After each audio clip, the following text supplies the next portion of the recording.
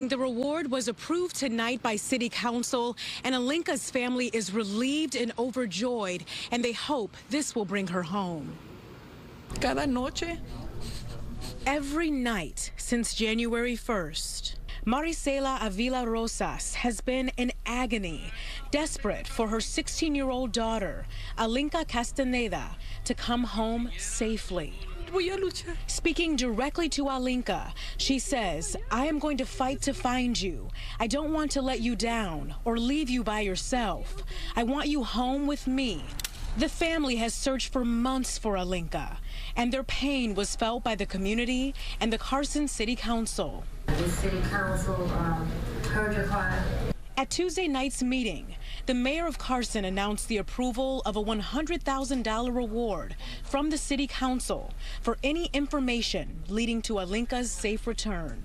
Not only do we want her home, we want to convict the person that may have taken her from her home. Rosas couldn't be more grateful. Muy feliz.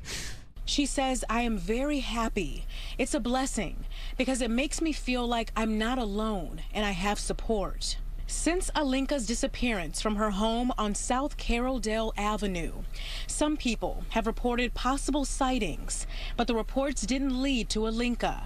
And family says Alinka has tried calling them too. Every call that she's made has been very short, unfortunately, um, which is why it's been so alarming. And family fears Alinka could be a victim of human trafficking. Es mucho tiempo. She says it's been too long for a teen to be by herself, so I believe there's a person involved in this case. And she says, I want to know who that person is, and I will leave no stone unturned to find my daughter.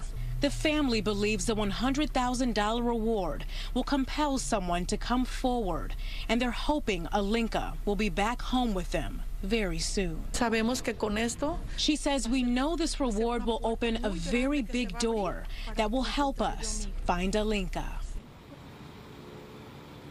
And anyone with any information is asked to contact the LA County Sheriff's Department or the Carson Police Department. Reporting live this evening, I'm Coco McAvoy, Fox 11 News.